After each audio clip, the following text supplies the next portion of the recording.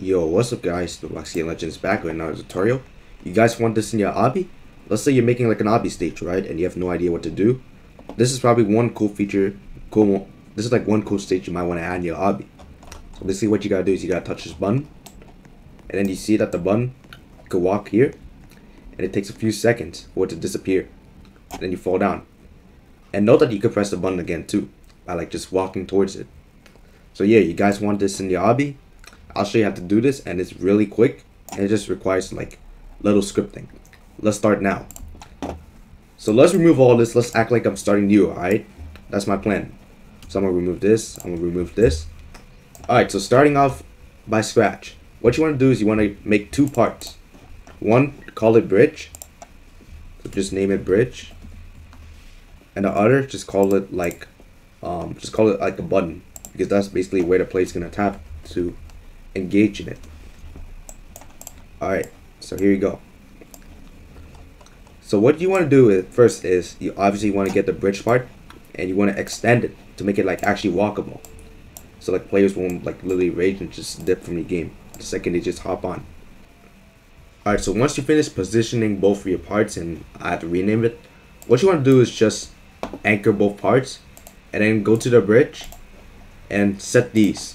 You're gonna make transparency 0.7, alright? Or any transparency you want, just make it like visible the bridge, like partially like you can see that it's visible and transparent. And also you wanna change collide to off. Because we're gonna turn it on when the player touches this part. Anyways, what we're gonna do now is we're gonna add a script to the button. Alright, so what you wanna do with the script is once you got once you make the script and delete everything. And then what we're gonna do is we actually want to call it the button too, to make it like a, a normal state. So let's set a normal state color for this bridge. I mean this this um bun. Holding, I'm forgetting my English. But yeah, I set it as forest green because it looks really nice and just fits in the atmosphere, you know. So pick the color and keep it like that because we're gonna need to get its RGB values later, which you can see over here. Actually, I just realized. But anyways, let's start typing now. We're gonna declare two two um, variables first one to declare the button and one to declare the bridge. So let's declare the button first. We're gonna type local um button equals to script that parent.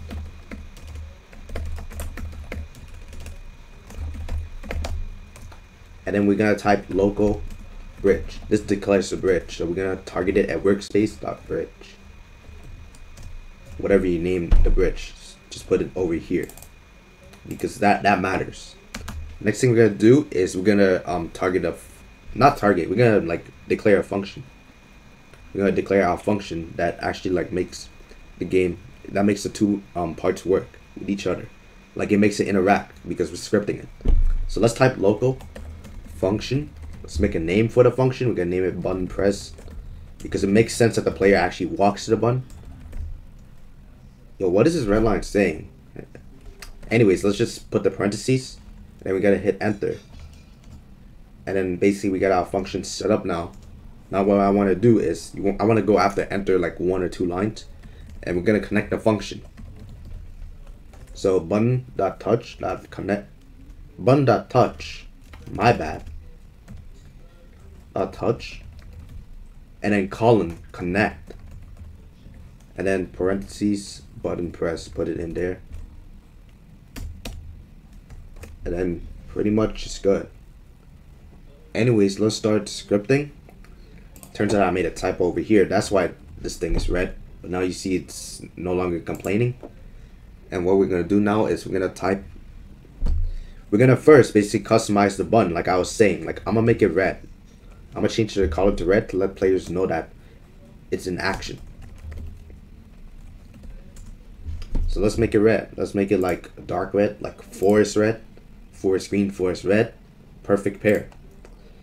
Anyways, aside from that, after you pick the color, whatever you want, we're gonna do, we're gonna change the um bridges. We're gonna change the bridge now.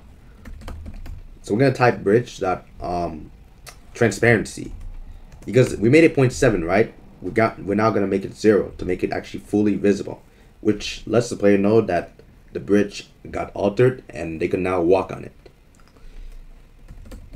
And then what we're going to do is we're going to customize the bridge again. In order to make it walkable, transparency don't do anything. It just affects the appearance. So yeah, we gotta now customize its properties by turning on can collide. So just type bridge that can collide equals to true. And you see this thing is smart, alright? It, know what I was gonna say. But yeah, just like a heads up, this is how our script looks right now. So you guys know we're on the same page. After that, let's make the bridge last for 10 seconds.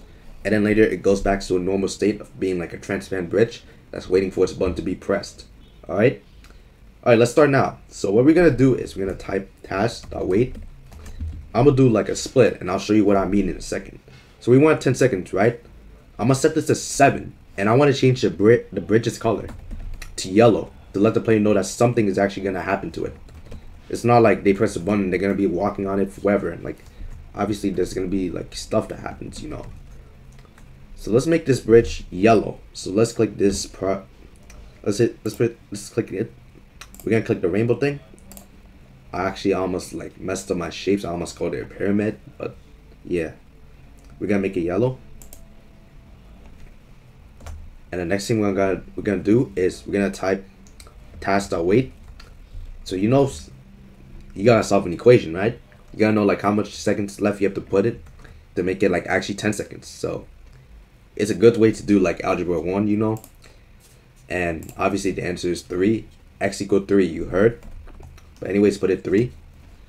And we're to type bridge. We're to revert the color back first. That's the first thing I want to do. So we're to revert back to its um, gray color.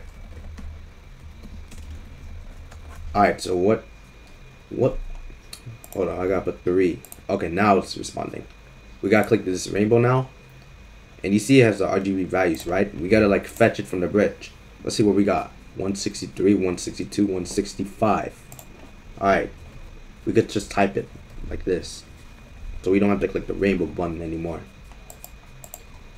Next thing we gotta do is we're gonna type bridge dot transparency equals to 0.7 back to its original state. We're actually gonna type bridge dot can collide equals to um, false, right?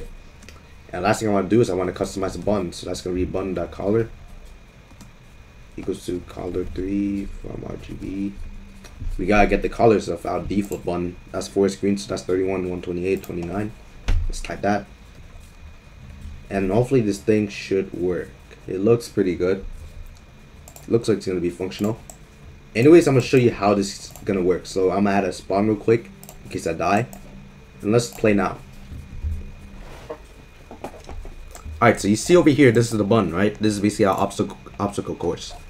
You see over here, if I walk to it, if I try jumping, I'm gonna die. Because I, I set the collisions for it as false in the properties as default. And you can also see there's a transparent look at the bridge. The button, however, is green, but no transparency because I didn't affect anything with it in the script. But when you touch the button, you can see that the button, like, I mean the bridge, it turns non-transparent and you could actually walk on it. But however, after 7 seconds it turned yellow. Then when 3 seconds pass, it turns back to gray and player falls, they die. And yeah, this this is like a pretty good invention, invention I gotta admit. Really good for obbies if like you're trying to make hide a part, hide a button. You could be creative with like the button details. But yeah. Anyways guys, I hope you enjoyed the video. If you please like and subscribe. And I'll see you in the next video. Bye, guys.